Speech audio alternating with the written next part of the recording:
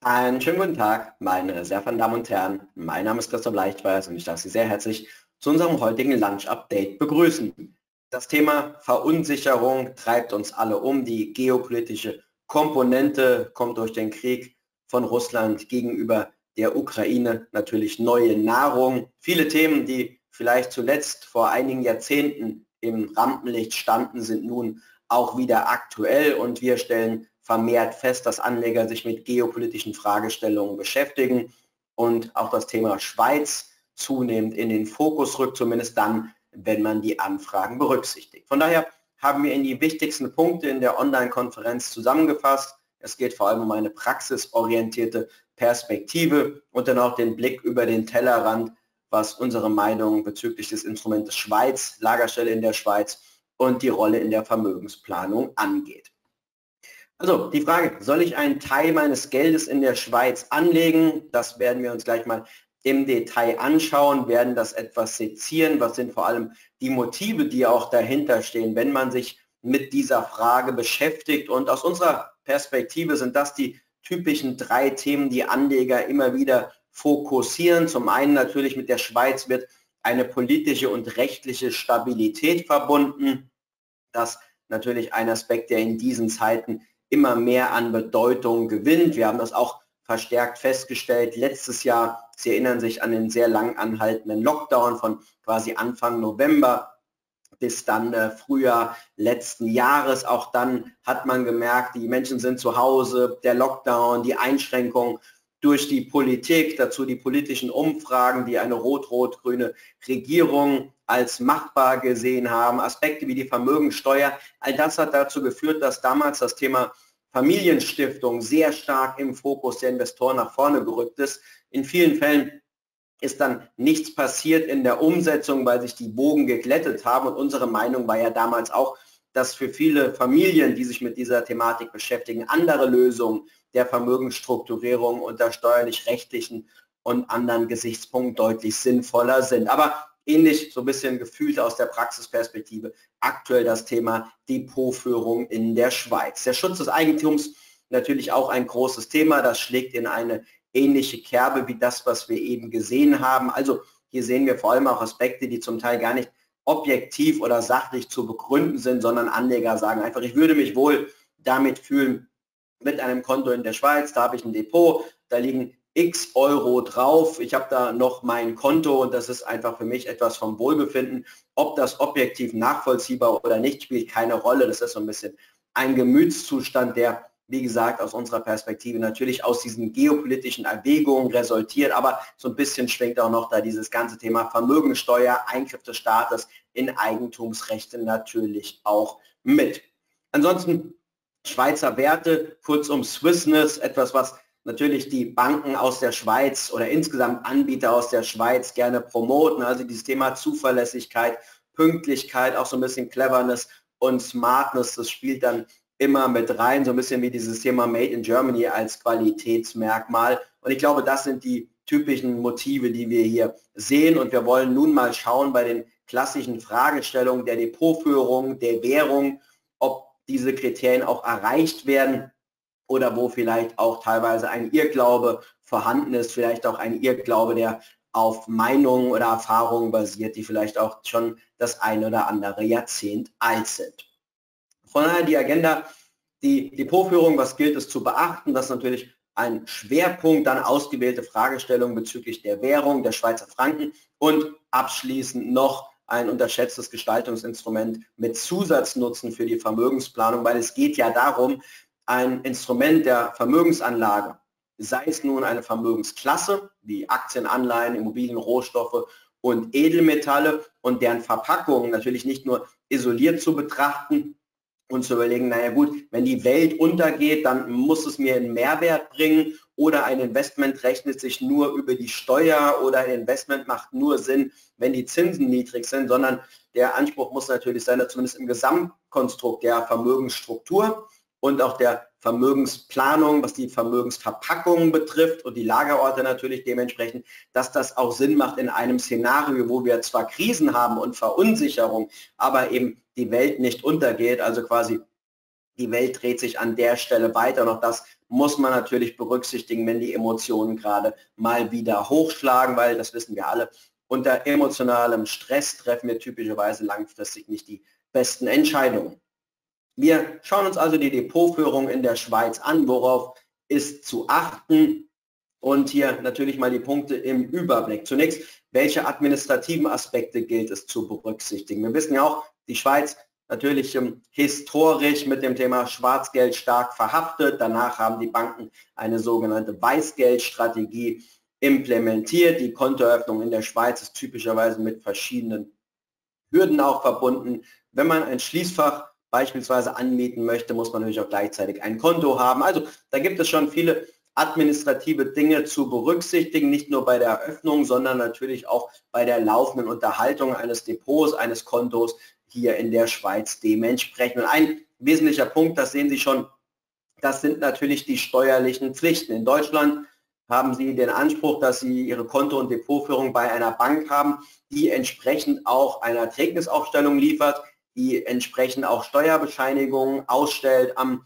Ende eines des ersten Quartals des Folgejahres, bei der wir durch die Einführung der Abgeltungssteuer auch einen sehr, sehr starken Automatismus haben, was natürlich auch dazu führt, dass man nicht so leicht etwas vergessen kann und auch nicht so leicht vielleicht eine Steuerverkürzung vornimmt, also gegebenenfalls Themen nicht deklariert, die man hätte deklarieren müssen. Und wenn ich das natürlich Geld oder die Buchung bei einer ausländischen Lagerstelle habe, sei es ein Broker, der irgendwo innerhalb der EU sitzt oder sei es natürlich auch eine Bank in, innerhalb der Schweiz oder bei einem anderen ausländischen Institut, dann muss natürlich die Frage immer sein, welche steuerlichen Daten bekomme ich? Teilweise gibt es Banken, die für ein Zusatzentgelt das erstellen. Das geht dann los bei 15 Euro für eine sogenannte Erträgnisaufstellung. Es gibt auch ähm, Banken, da reden wir über relativ hohe Beträge, wo man dann schon wieder Kosten nutzen bei kleineren Beträgen der Konto- und Depotführung wieder in Frage stellen muss. Und ähm, wenn wir über die steuerlichen Werte sprechen, dann geht es natürlich auch darum, was welche Auswirkungen hat das auf meine Anlagestrategie. Also wenn ich beispielsweise nur zwei oder drei Fonds oder ETFs bei einer ausländischen Lagerstelle wie der Schweiz führe, dann kann auch der Steuerberater oder auch Sie selbst mit etwas Vorbereitung über die Belege, Sie haben Anschaffungskosten, Sie haben Veräußerungskurse und können Sie über die Teilpreisstellungssätze mit überschaubarem Aufwand noch die steuerlichen Deklarationspflichten erfüllen.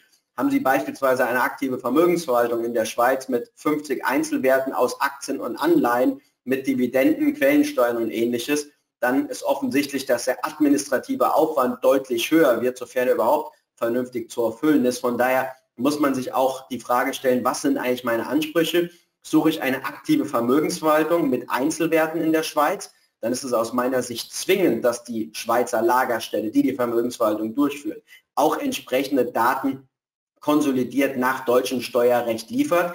Wenn ich ohnehin nur Geld Cash halten möchte als eiserne Reserve und darüber hinaus noch eine Summe X diversifiziert in drei, vier, fünf ETFs oder Fonds, dann bekomme ich das zur Not auch noch hin, wenn ich von der Bank keine Steuerdaten bekomme. Von daher, wenn Sie sich mit dem Thema Depotführung in der Schweiz beschäftigen, fragen Sie bei der Bank, welche steuerlichen Daten werden geliefert, überlegen sich, welche Anlagestrategie Sie fahren möchten. Abgeleitet aus der Anlagestrategie resultieren Ansprüche an das depotführende Institut. Und vergessen Sie an dieser Stelle bitte auch nicht Ihren Steuerberater, weil der muss das Ganze am Ende des Tages natürlich auch noch verarbeiten. Und wir stellen oft fest, dass Anleger erst Entscheidungen treffen. Ähm, dann wird fröhlich Geld verwaltet, sei es selbst oder durch einen externen professionellen Marktteilnehmer wie Banken oder Vermögensverwalter. Und dann stellt man fest, Moment mal kurz, wir hatten jetzt hier 80 Wertpapiere und 160 Transaktionen inklusive Dividendenausschüttung, Quellensteuer und Co. Und dann stellt man fest, Moment mal kurz, die Bank liefert ja gar keine Daten. Und dann hat der Steuerberater natürlich viel Freude, was übersetzt heißt, ein unheimlich großer manueller Aufwand, riesige Excel-Tapeten, ein enormer Aufwand in der Datenbeschaffung. Das kostet natürlich alles auch Geld. Und ähm, wie gesagt, von daher sehen Sie schon diese Wechselwirkung zwischen Anlagestrategie und Leistungsfähigkeit meiner Depotbank im Sinne der Nichterfüllung der steuerlichen Pflichten. Die liegen immer bei Ihnen, aber in den Unterlagen, die Ihnen hier zur Verfügung gestellt werden. Also das wirklich ein großes Thema, was im Vorhinein hier zu berücksichtigen ist. Und wie gesagt, fragen Sie nicht nur ob steuerliche Daten nach deutschem Steuerrecht geliefert werden, sondern auch was es kostet, in welchem zeitlichen Umfang die geliefert werden. Also da hängen schon ein paar Themen hinten dran, weil natürlich Lagerstellen im Ausland führen keine Abgeltungssteuer ab. Ist erstmal ein kleiner Vorteil, weil man den Abfluss nicht hat, sofern entsprechend Steuern unterjährig anstehen. Aber am Ende des Tages ist auch die abgeltende Wirkung der Steuerpflicht nicht erfüllt. Das heißt, die Deklarationspflichten des Steuerpflichtigen, und das sind in erster Linie Sie als Anleger, die sind ein bisschen höher. Und auch das gilt es natürlich zu berücksichtigen, weil Sie wollen ja nicht gewisse Vorteile der Vermögensplanung durch Stress, mehr Zeitaufwand und mehr Kosten in administrativer Hinsicht hier erzeugen, sodass das Ganze konterkariert wird. Also das ist wirklich nicht ganz zu unterschätzen. Die Kernfrage, die man sich natürlich stellen muss, welches Problem löse ich denn eigentlich damit? Also bezogen auf die Anlagestrategie, also die inhaltliche Ausgestaltung, die Definition der strategischen Vermögensstruktur von Aktienquoten, Anleihequoten, also die Strukturierung auf der Ebene der Vermögensklassen, aber auch die inhaltliche Ausgestaltung, eher klassische Anleihen, eher inflationsgebundene Anleihen, eher Unternehmen hoher Bonität, niedriger Bonität. Diese ganzen Fragen oder wie hoch soll die Edelmetallquote sein? Möchte ich Währungsabsicherung tätigen von Euro gegenüber Dollar and so on? Also diese ganzen Detailfragen der Anlagestrategie, die lösen Sie natürlich nicht mit der Depotführung in der Schweiz oder sonst in einer Hülle, egal in welcher rechtlichen Hülle Sie das dann tun, ähm, sondern die bestehen natürlich weiterhin. Also von daher, die Lagerstelle im Ausland löst erstmal keine Fragen, was die inhaltliche Ausstellung der Anlagestrategie austrifft. Äh, ein anderes Thema, was wir oft sehen, dass man sagt, naja gut, bei der Bank in der Schweiz oder im Ausland fühle ich mich besser als bei der Bank in Deutschland, weil der Euro hat seine strukturellen Probleme. Vielleicht mal wieder die nächste Euro-Peripheriekrise. Denken Sie an die Staatsschuldenkrise, die wir direkt nach der Finanzkrise in zeitlichem Kontext auch hatten, die dann von Mario Draghi mit der Whatever It Takes beendet wurde. Und da muss man natürlich auch sagen, klar, wenn ich mein Kontoguthaben auf verschiedene Banken verteile, dann streue ich zwar mein Gegenparteienrisiko, weil Guthaben bei der Bank sind ja eine Forderung gegen die Bank, ein Kredit, den ich der Bank zur Verfügung stelle, natürlich mit den diversen Einlagensicherungssystemen, aber das Problem löse ich natürlich nicht singulär, indem ich eine Bank im Ausland wähle, weil am Ende des Tages das globale Finanzsystem ist natürlich sehr stark vernetzt und ich glaube, auch wenn Sie die Bilanz der Schweizer Notenbank betrachten, dann sehen wir dort ja auch dass sie nicht ganz ohne Grund als weltweit größter Hedgefonds bezeichnet wird. Also auch hier muss man natürlich sagen, wenn man sich wirklich Gedanken macht über die Stabilität von Banken, über negative Konsequenzen der Thematik, dass Banken als Schuldner ausfallen können, sofern man dieses Extremszenario hat, was ab gewissen Vermögensgrößen immer zur Planung dazugehört, dann kann ich das Problem natürlich sehr einfach lösen, indem ich mich im Sondervermögen engagiere. Also sprich, wenn ich Banken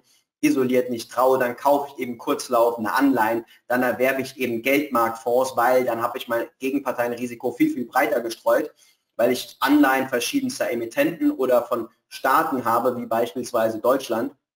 Und ich bin im Sondervermögen, bin also bei der Insolvenz einer Bank nicht betroffen, weil mein Anspruch auf Herausgabe auf die Wertpapiere natürlich besteht, weil im Gegensatz zu Kontoguthaben sind Wertpapiere nicht im Eigentum der Bank, sondern diese werden nur verwahrt. Also wesentliches Argument aus unserer Sicht dementsprechend ist die Diversifikation der Lagerstellen. Also sprich, ich ändere nichts an meiner Anlagestrategie, sondern ich setze einen Teil meiner Anlagestrategie lediglich im Ausland um. Und wenn man das jetzt mal mit den administrativen Aspekten in den Gesamtkontext setzt, dann könnte es beispielsweise so sein, dass man sagt, naja, ich habe auf der einen Seite meine aktivere Vermögensverwaltungsstrategie in Deutschland, da bekomme ich sehr solide alle Steuerdaten geliefert, habe also hier keinen zusätzlichen Aufwand. Noch dazu, das muss man auch sagen, die Kosten in der Schweiz sind natürlich typischerweise ein gutes Stück höher als das, was wir in Deutschland auch gewohnt sind, was Bank- und Wertpapier verbundene Kosten betrifft. Also auch das muss man berücksichtigen und daher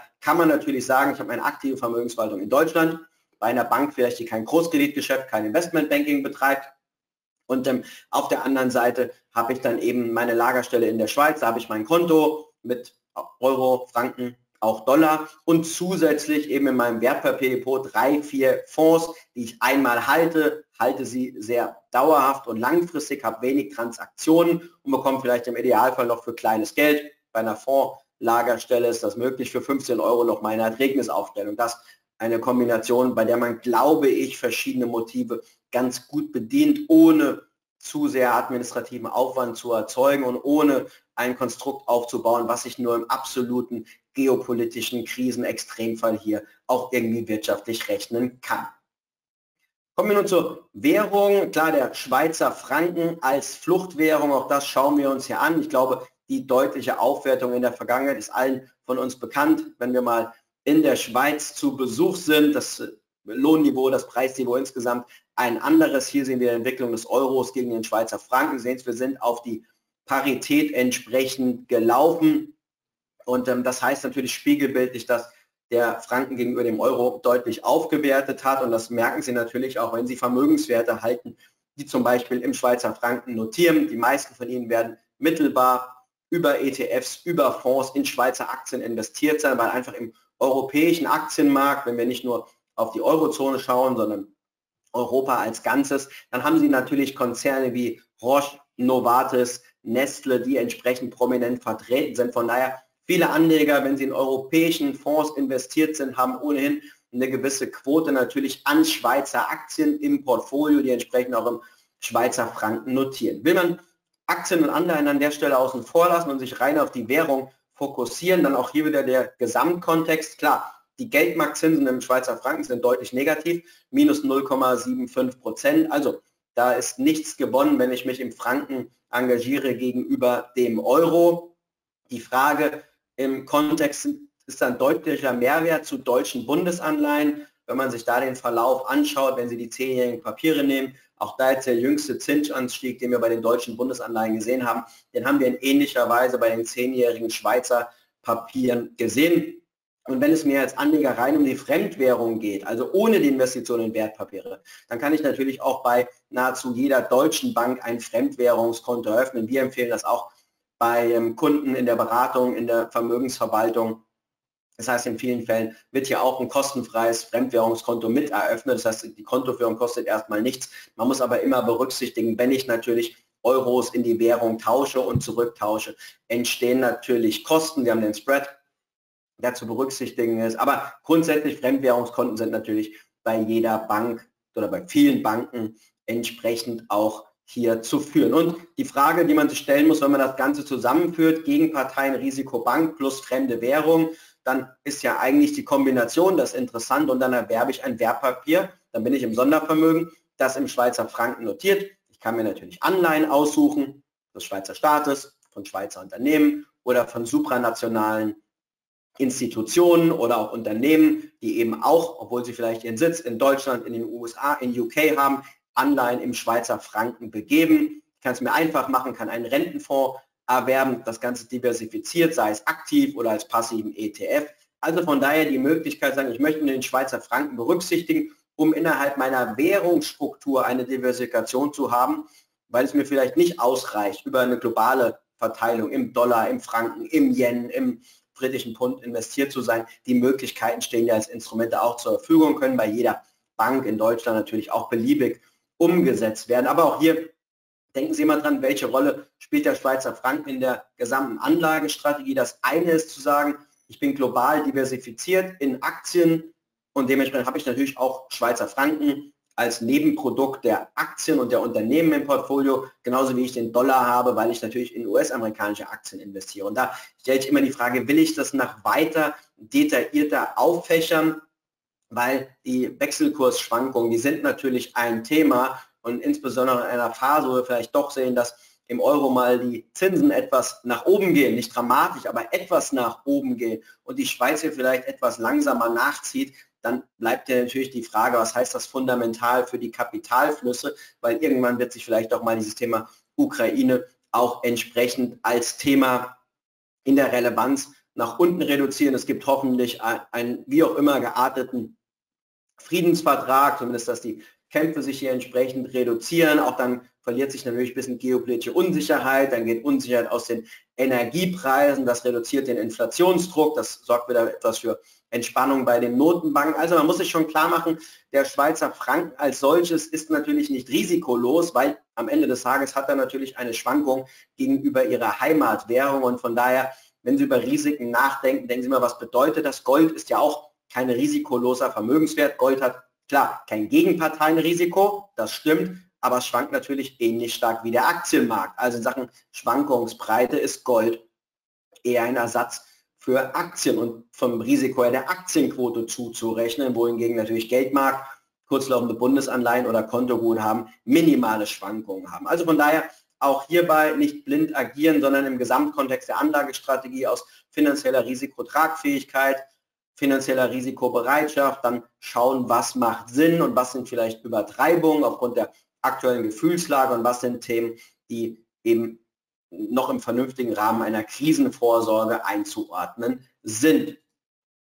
Kommen wir zu einem unterschätzten Vehikel für die Vermögensplanung und das ist jetzt wirklich mal was äh, Ungewöhnliches, aber mir ging es ja nochmal darum, Ihnen auch zu zeigen, welche Themen gibt es zu berücksichtigen. Wir haben Kunden mit Depotführung in der Schweiz auch schon ähm, sehr lange, das funktioniert auch ähm, sehr gut. Wir haben auch Schweizer Kunden, die ähm, auf uns zukommen, sind aktiv und Fragen im Bereich der Vermögensplanung haben, was die Depotkonstruktion entsprechend angeht. Aber hier jetzt mal das Thema unterschätztes Wege für die Vermögensplanung, weil wir haben ja etwas gesucht, wo wir sagen, okay, wir haben gewisse Ansprüche. Und die Ansprüche habe ich hier mal zusammengefasst und ähm, aus der Praxis. Also Möglichkeit zur Depotführung bei einer Bank in der Schweiz.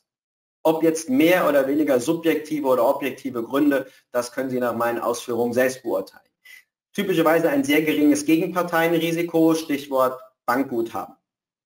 Abbildung mehrerer Währungen und Vertragsführung im Schweizer Franken ist ein Aspekt, der oft auch gewünscht wird, also eben nicht nur Wertpapiere im Schweizer Franken zu haben, sondern eben auch die Kontoführung direkt im Schweizer Franken, dass alles im Franken abgewickelt wird. Also quasi gar nicht über Euro, sondern ich kaufe vielleicht sogar meinen im Dollar notierenden US-Aktien-ETF über mein Schweizer Fremdwährungskonto, um im Fall der Fälle den Euro als Abwährungs Abwicklungswährung gar nicht zu benötigen.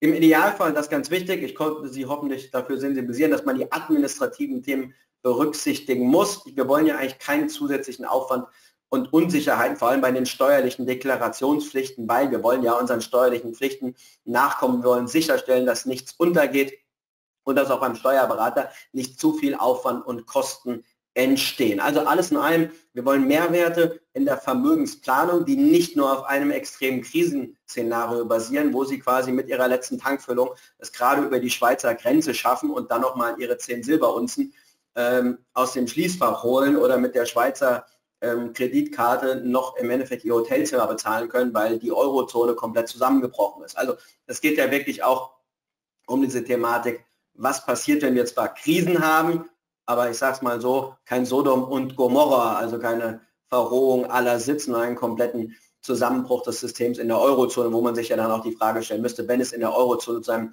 sehr unplausiblen Totalausfall kommen würde, was würde das dann eigentlich auch für die Schweiz bedeuten, auch für die Schweizer Notenbank, für die Handelsbeziehungen Schweiz, Europa und ähnliches. Also da stehen viele Themen hinten dran. Von daher der Schwenk zur Vermögensplanung, die all das kombiniert und ähm, da werden die einen oder anderen vielleicht ein bisschen skeptisch schauen, weil der Begriff sehr negativ belegt ist.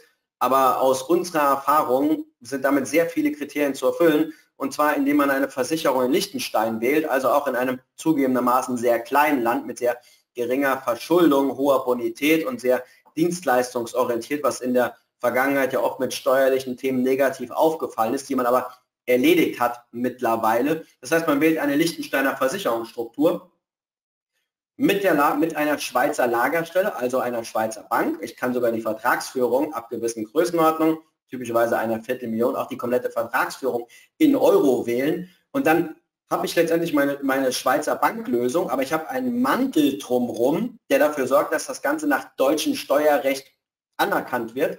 Das heißt, deutsches Steuerrecht und vor allem auch keine Deklarationspflichten während der gesamten Vertragslaufzeit und bei Fälligkeit des Vertrages ganz normale Steuerpflichten, die wir sehen in Deutschland haben, Abgeltungssteuerregime oder die sogenannte 1262. Regel bei Entsprechung der Vorgaben. Und wenn ich dann das Ganze noch nehme und abwäge bei gewissen Vermögensgrößen als Instrument der Vermögensplanung, weil ich mit einer Versicherungsstruktur sehr gut Bezugsrechte anpassen kann und ähm, auch Strukturierung im Rahmen der vorweggenommenen Erbfolge vornehmen kann. Also beispielsweise ich zahle in einen Vertrag Geld ein, schenke 90 Prozent des Vertrages an meine Kinder, dann habe ich die Möglichkeit eben auch Vermögen zu übertragen, vielleicht im Rahmen der Freibeträge, gleichzeitig aber über meine 10% Anteil an dem Vertrag den Daumen auf dem Vertrag zu haben, weil eben die Kinder nicht allein entscheiden können, sondern ich mit meinen 10% kann mitagieren. Also von daher, was wir sehen ist, dass im Rahmen der Vermögensplanung bei den Versicherungslösungen ein unheimlich interessantes Vehikel sind. Wenn ich dort die Lagerstelle Schweiz implementiere, vielleicht die sogar noch die Vertragsführung im Schweizer Franken, dann habe ich hier wirklich alle Kriterien erfüllt. Und äh, aus unserer Sicht da ein Aspekt, den man auch zusätzlich noch überlegen muss, weil die Vorteile hier in der Vermögensplanung und in der Steuerstundung nach deutschem Recht eben erfüllt werden, ohne dass ich irgendwelche steuerlichen Risiken und zusätzlichen Administrationsaufwand habe, weil es gibt ja eben keine jährliche Steuerdeklaration. Also das wollte ich Ihnen mitgeben. Es gibt auch Fälle, da macht die Kombination Sinn. Da gibt es, machen wir es mal sehr breit, da gibt es die Vermögensverwaltung in Deutschland eher aktiver. Dann gibt es die Lagerstelle in der Schweiz, wo eher statisch drei, vier Fonds und ETFs liegen aber diese Gelder sind alle noch zugunsten der Seniorengeneration. Und dann gibt es die Versicherungslösung mit einer Lagerstelle in Deutschland, Liechtenstein oder der Schweiz, bei der man den Vermögenskontext generationsübergreifend entsprechend spannt, weil das ist auch klar zum Thema Vermögenseite, zum Thema Kaufkrafterhalt zählen natürlich nicht nur die laufenden Steuern oder das Thema Inflation, sondern auch die Vermögensbelastung beim Übergang in die nächste Generation. Und da oft das Motiv der Seniorengeneration da ist, noch den Daumen für eine gewisse Zeit drauf zu halten, steht neben den Lösungen einer vermögensverwaltenden Familiengesellschaft, vielleicht in Form einer GmbH oder einer KG, je nachdem, ob sie Immobilien, Wertpapiere oder was auch immer halten, muss man sagen, dass die Versicherungslösung in der Nettobetrachtung nach Aufwand und vor allem auch Kosten deutliche Vorteile. Und das wollte ich an der Stelle auch nochmal anbringen, weil wir auch hier in der Praxis ein sehr positives Feedback bekommen haben, weil diese Idee und vor allem diese Kombination die Vorteile abbildet, die nicht nur auf dem Weltuntergang basieren, hier dann doch ganz interessant ist. Also wie gesagt, das natürlich nur Ideen, für wen was passend ist, hängt an sehr vielen Präferenzen, hängt natürlich auch an eigenen Einstellungen der Familienkonstellation und viele mehr. Von daher darf ich Sie natürlich nur an dieser Stelle gerne auf unseren YouTube-Kanal oder auf unsere Webseite verweisen. Und ich würde nun an dieser Stelle mich bei allen bedanken, die uns nun verlassen und zum Mittagessen gehen und Wer noch Lust und Laune hat, der kann natürlich gerne hier in die Fragerunde einsteigen. Ansonsten, alle, die uns verlassen, Ihnen wünsche ich natürlich sehr schöne Osterfeiertage. Erholen Sie sich gut, genießen Sie die Zeit mit der Familie, bleiben Sie vor allem gesund und dann sehen wir uns auch wieder mit unseren Webinaren dann eben ab der nächsten Woche.